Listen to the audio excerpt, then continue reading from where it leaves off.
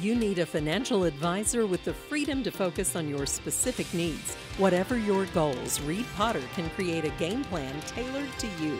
Call Reed at 432 0777 at Pikeville, Kentucky to learn more. This Halloween, not only will Pikeville be hosting their annual trick or treat, there will be three mystery houses giving away additional prizes to three lucky winners. So we're doing the Mountaintop Media Trick or Treat House Mystery House. Uh, this year we're doing all in the city of Pikeville, all within the city limits. We have three separate locations that are going to have a special prize for a special person.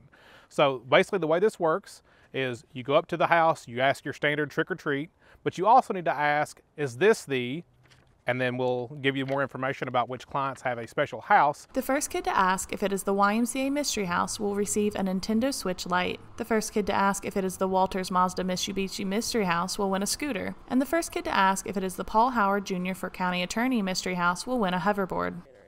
It's super simple to participate. All you have to do is ask if that is the specific mystery house. Just get it in your mind to ask every house. That way you're going to win something. Uh, don't forget that it's all within the city limits of Pikeville, uh, so no one outside in, in the outer parts of the county is going to be participating, all in the city of Pikeville here today.